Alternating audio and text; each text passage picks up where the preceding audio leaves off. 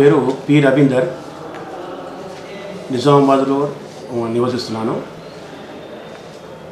నాకు కంటి చూపు రెండు వేల ఎనభై ఆరులో కంటి చూపు టైఫాయిడ్ వచ్చి కంటి చూపు పోయింది. తర్వాత హాస్పిటల్ చుట్టూ తిరిగినా కానీ చూపు రాలేకపోయింది. ఏడో తరగతిలోనే కంటి చూపు పోయింది. తర్వాత హాస్పిటల్ చుట్టూ హైదరాబాద్లో సరోజిని హాస్పిటల్ ఎల్వి ప్రసాద్లో తిరిగినా కానీ ఆపరేషన్ చేసినా కానీ చూపు రాలేకపోయింది. తర్వాత ఎనభై ఆరు ఎనభై ఎనిమిదిలో అందులో పాఠశాల హైదరాబాదు దారుషాపలో ఏడవ తరగతిలో మళ్ళీ జాయిన్ అయ్యాను ఎనభై ఎనిమిదిలో. తర్వాత పదవ తరగతిలో చదువుకొని intermediate new government junior college మలక్పేటలో చదువుకున్నాను. డిగ్రీ ఎస్పీఎస్ కాలేజ్ విద్యానగర్లో. తర్వాత ఎంఏ నిజామాబాదు ఓపెన్ యూనివర్సిటీలో ఎంఏ పొలిటికల్ సైన్స్ చేశాను. రెండు వేల రెండులో ఏపీపీఎస్సి నిర్వహించిన గ్రూప్ ఫోర్త్ ఎగ్జామ్లో డిస్టిక్లో ఫస్ట్ ర్యాంక్ రావడం జరిగింది.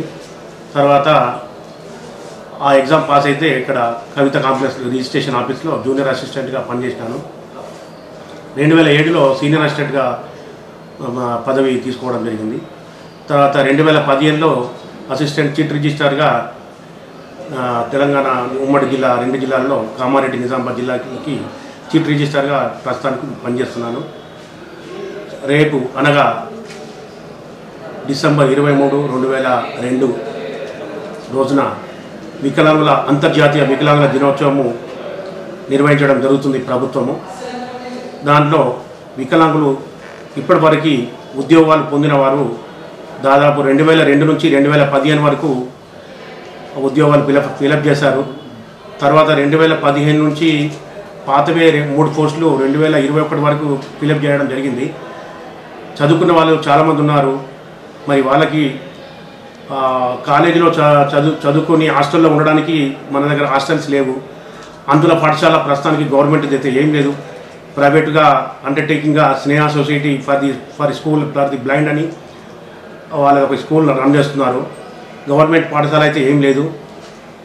పాఠశాలలు ఉన్నట్టయితే అందులో చాలా చక్కగా చదువుకొని ఉద్యోగులు చేస్తున్నారు. కళ్ళు ఉన్న ఉన్న వారితో పాటు పోటీగా ఉద్యోగులు చేస్తున్నారు. మరి అలాంటి వాళ్ళకు ఈ- ఈ కొన్ని రోజుల్లో ఉద్యోగాలు ఉద్యోగాలు రాక ఆపి చుట్టూ తిరుగుతూ ఉన్నారు. వాళ్ళకి ఇప్పుడు ప్రస్తుతానికి హైదరాబాద్లో హాస్టల్స్ ఉన్నాయి కాబట్టి అక్కడే చదువుకుంటున్నారు. అక్కడ కరీంనగర్లో చదువుకుంటున్నారు. హాస్టల్ ఫెసిలిటీస్ లేక ఇబ్బందులు పడుతున్నారు.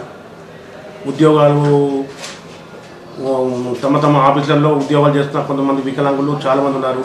అందులు భద్రులు శారీరక వికలాంగులు చదువుకున్న వాళ్ళు ఉన్నారు చదువు చదువు నుండి జాబులు చేసే వాళ్ళు కూడా ఉన్నారు కానీ ఇప్పుడు కొంతమందికి జాబులు ప్రస్తుతానికి పెండింగ్లో పెట్టినారు.